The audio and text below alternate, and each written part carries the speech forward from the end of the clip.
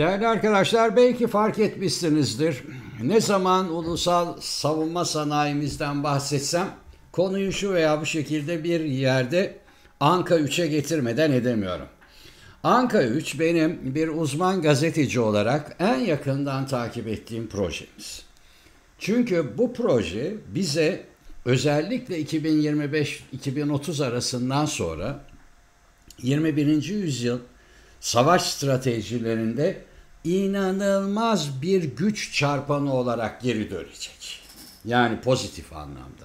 Hele hele, hele hele Kızıl Elma'yla beraber Milli Muharip Uçağımız Kaan'a üçlü kol olarak takıldıkları, birlikte yola çıktıkları an Türkiye havacılık alanında Türk Hava Kuvvetleri bir başka stratejik güç kazanmış olacak. Anka 3 özel bir yapım.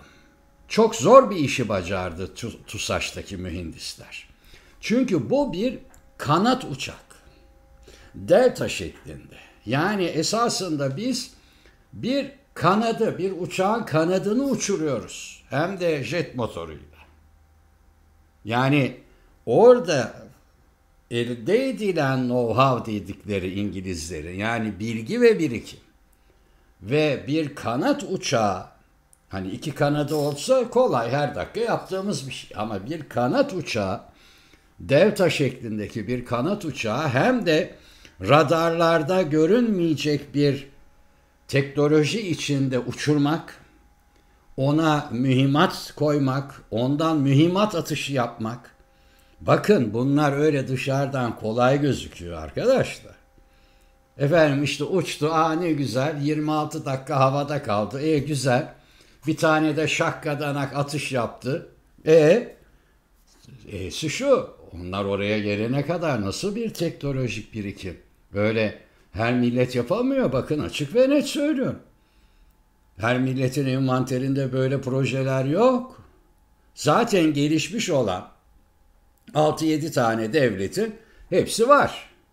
Ama onun dışında arkadan gelip kilometrelerce mesafe arkadan gelip onlarla yarışacak projeleri hayata geçirmek gerçekten Türk milletinin bu anlamdaki zekası başka bir örnek oluşturuyor. Şimdi Anka 3'ün özelliklerinden bir numarası radara yakalanmaması. Bir uçak neden radara yakalanmaz? Nasıl yakalanmaz?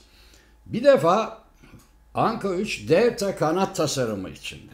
Söylediğim gibi klasik bir uçak görüntüsünde değil. İki, dahili mühimmat deposu var. Şimdi bu dahili mühimmat deposu nedir? Dahili mühimmat deposu çok önemli. Normal olarak uçaklar, F-16'larımız da dahil olmak üzere mühimmatlarını kanat altı veya gövde altına koyarak yola çıkarlar. Radar sinyalleri o yüzden o uçakları çok rahat bir şekilde yakalar.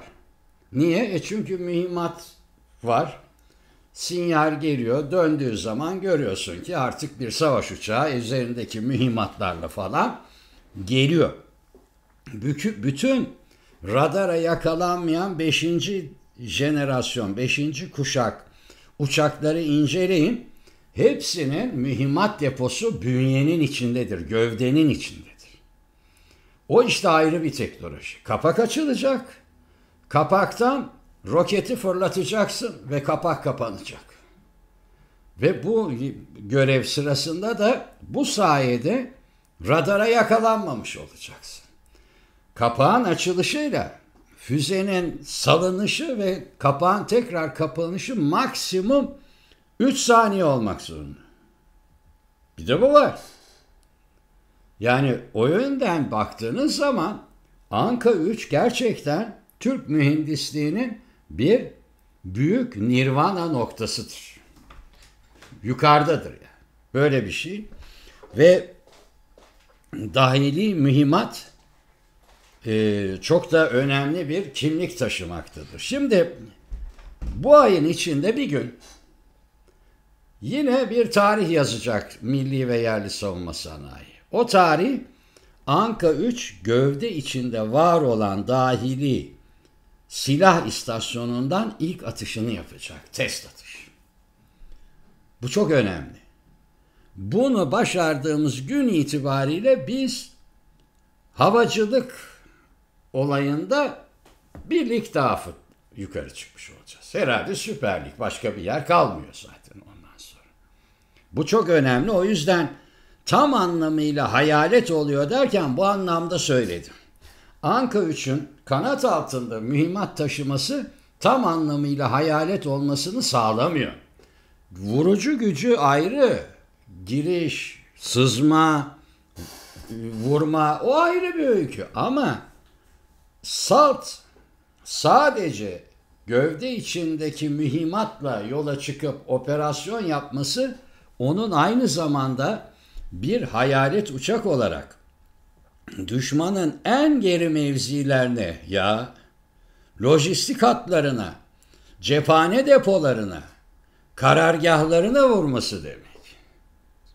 Anka 3 bu yapısıyla bir ön cephe değil, cephenin arkasına sızan bir kimlik. Bu yönden baktığınız zaman gerçekten çok önemli bir durumla karşı karşıyayız. Ee, gövde içerisinde yer alan dahili iki istasyonun her birinde 650 kilo mühimmat taşıyor. Yani 1 ton 300 kilo e, mühimmat taşıma kabiliyetine sahip. Yani aklıma gelen 3 tanesini söyleyeyim. Daha fazlası vardır kuşkusuz. Somje, Tolun ve Teber. Roketsan'ın e, her biri harika füzeleri bu sistemin içinde yer alacak. Ve e, Anka 3 bu testlerden sonra yani gövde testinden sonra TSK'ya teslim edilecek Türk Silahlı Kuvvetleri, Türk Hava Kuvvetleri ile mühendisler devam edecekler çalışmaya. Oradaki testler yani o pilotların, bizim pilotların kullandıkları testler, hani yer pilotlarımızın çerçevesinde son konfigürasyon devreye girecek ve e, anladığım kadarıyla Kaan ile yani Allah bize ömür verirse sizlere tabii gençlere Allah uzun ömür versin verecektir mutlaka göreceksinizdir de yani 2030 yılında e, Kaan'la Anka 3 uçuş yaptığı gün herhalde küresel sistemde deprem olacak. Onu da söyleyeyim. Hoşçakalın.